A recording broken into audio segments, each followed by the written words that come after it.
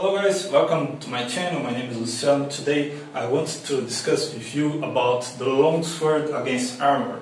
This particular sword is a replica that I am making and this is uh, Oakeshott type 15A and this sword is designed most for thrusting instead of cutting and this is because of the type of uh, armor that this sword would face on battlefield.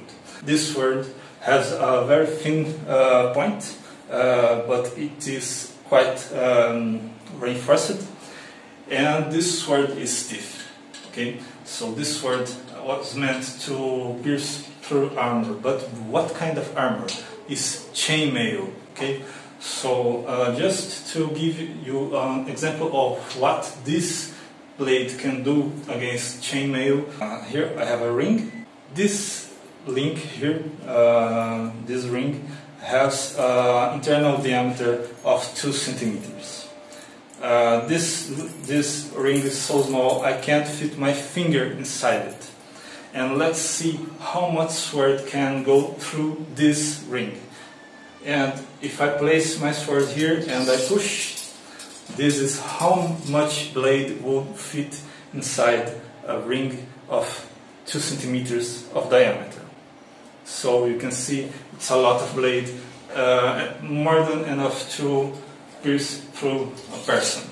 What was the size of the rings from for chainmail? According to Wikipedia, uh, the chainmail would have rings uh, varying between 1 centimeter and 1.6 centimeters. So uh, using millimeters that is more accurate and scientific.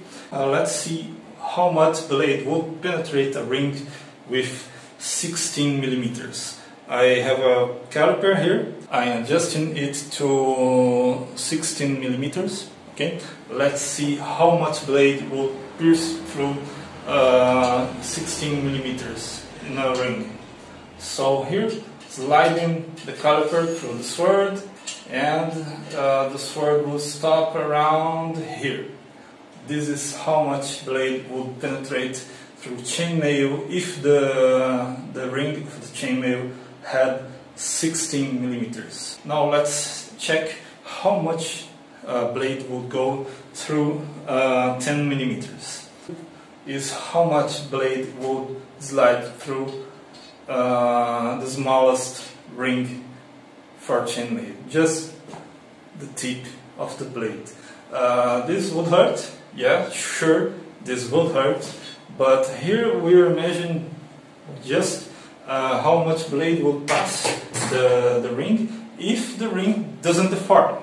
And that's not what uh, would happen in reality.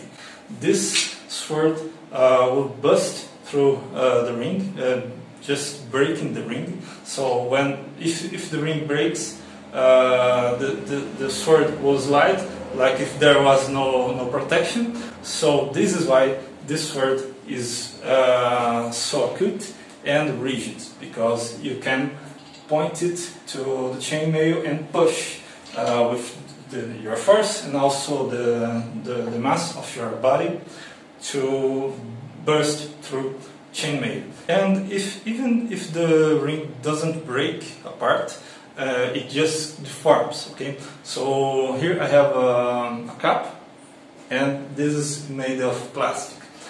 If the sword enters here and forces it in the in the internal uh, walls, what happens is that this shape that's round will um, change the form to this shape.